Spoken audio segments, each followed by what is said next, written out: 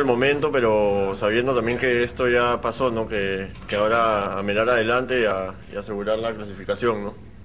Eh, somos conscientes de ello, ¿no? Porque también en el torneo local queremos conseguir algo y, y, bueno, nuestra meta es estar en la final, ¿no?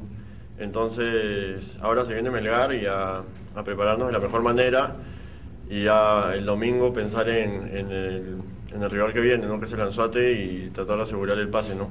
Ese es mi objetivo, ¿no? mi, mi meta es, es, claro, sentarme, consolidarme en el primer equipo de la U y, y bueno, tener más partidos, ¿no? más oportunidades si es que se puede y, y bueno, en un futuro también, claro, llegar a una selección. Yo sé que acá de repente carecemos un poco de, de, laterales izquierdos, como dices, pero, pero bueno, sí, o sea, a mí me gusta jugar por ese lado y, y bueno, nada, seguir creciendo, ¿no?